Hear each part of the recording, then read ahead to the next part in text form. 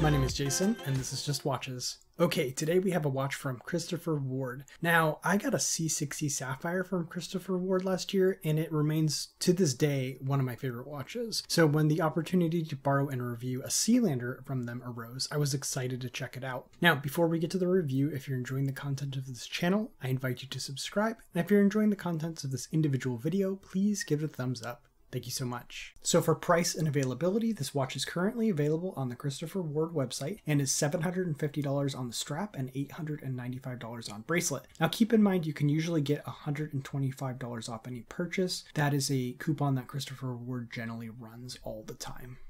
The case is 39 millimeters in diameter, excluding the crown guards. It's only 45.5 millimeters lug to lug. It's 11.5 millimeters thick, but about a millimeter of that is this sapphire crystal, and then it has a 20 millimeter lug width opening. Now, on this Tide strap, it weighs in at 73 grams. So, this is Christopher Ward's light catcher case, which is a bit hard to describe, but essentially they scalloped the mid case with high polish surfaces, as well as have high polish on the edge of the bezel the overall effect in person is a very visually interesting and beautifully finished watch. Now, we also have integrated high polished crown guards that curve out to enclose the crown, and then very angular lugs.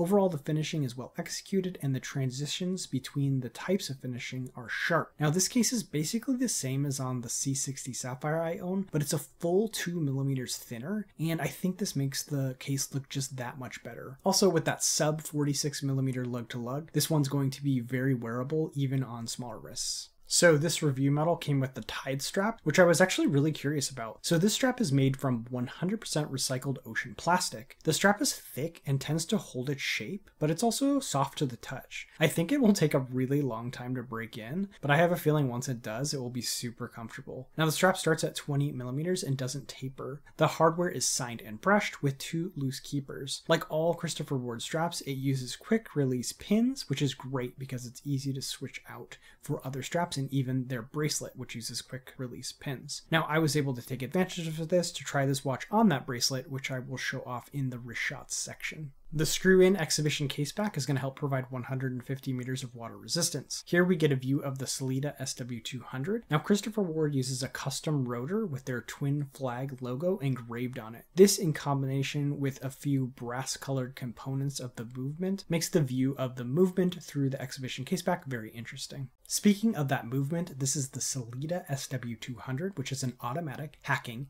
hand winding 28,800 vibration per hour movement with a 38 hour power reserve. Now, Christopher Ward uses the slightly higher grade, which is adjusted and accurate to plus or minus 7 to 20 seconds a day, and it is also supposed to be regulated in three positions. You are seeing we are getting great accuracy on this one. It's actually running better than specifications at about plus 5 seconds a day dial up with excellent amplitude, and then plus 4 seconds a day with the crown up. The 6mm screw down crown is really well finished. So the crown is signed with the Christopher Ward double flag raised in high polish against a blasted background. And then the knurling of the crown is very large and very easy to grip. Now it's blasted, but then the tops of each of the knurls are brought back up to high polish. It's really beautiful in person. And then the crown also uses a clutch system, so when you are rethreading the crown, it actually disengages the winding mechanism and makes it extremely easy to rethread. The flat sapphire crystal is about 1 millimeter proud of the bezel with a large facet around the edge that catches light and causes cool distortions. Now, it is also treated with an excellent application of anti-reflective coating, which really helps show off the lacquer dial. Speaking of that lacquer dial, it is gorgeous in person. I was shocked at just how deep the black of the dial is that I immediately had to take out and compare it to my Seiko Urushi dial. So it doesn't have the same wet ink look of the Urushi dial, but as far as I could tell,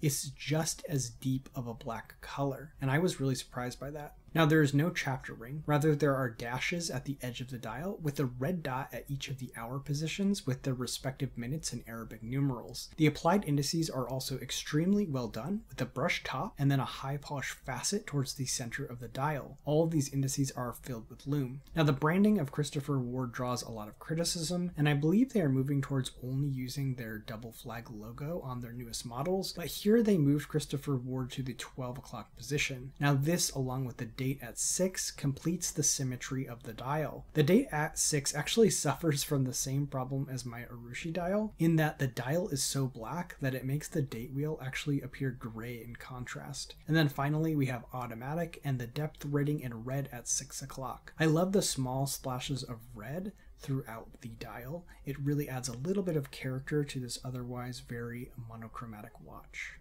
Now, just like the crown and indices, the hands are another place that Christopher Ward excels. The top of both the hour and minute hand are brushed, but the edges are faceted and high polish. They are also filled with lume. Now, this mix of finishes and then lume makes the hands extremely legible in almost any lighting condition. The minute hand is plenty long and reaches to the dashes around the edge of the dial. And then the second hand features that Christopher Ward Trident counterbalance, which is a very fun and playful detail that I'm a huge fan of. Finally, the tip of the second hand is painted red. Well, I know Christopher Ward has been working on improving their lume, and they finally did it in my opinion. Here is the Sealander keeping up with Seiko lume, which is kind of the standard for me. I'm really happy to see they got the lume to this level, and I'm a little bit sad because it's not this good on my C60 Sapphire. And here is the watch on that Tide strap on my six and three quarters inch wrist. This is a great size. Those short lug to lug distances really make a watch incredibly wearable on smaller wrists. And then just because I have it and it fits, here it is on the Christopher Ward bracelet. I love this bracelet. It has the built-in quick adjust in the clasp, and I think it's extremely well built overall.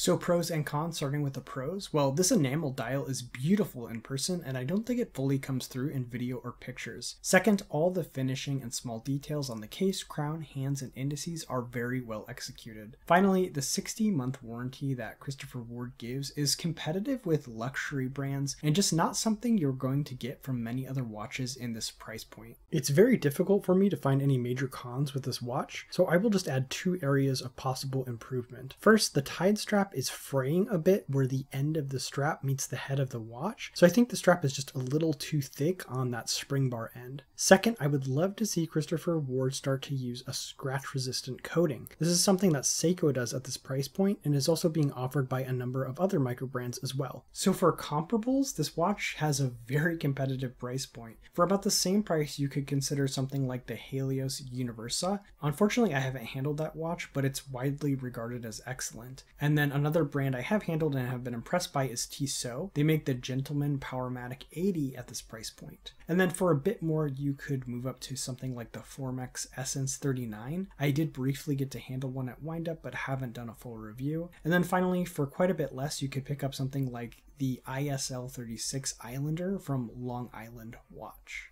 So there you have it, the Christopher Ward Sealander. What do you think about this watch? Let me know in the comment section below. As always, if you're enjoying the content of this channel, I invite you to subscribe, and if you like the contents of this individual video, please give it a thumbs up. That's all for this time. My name is Jason, and you have been watching Just Watches.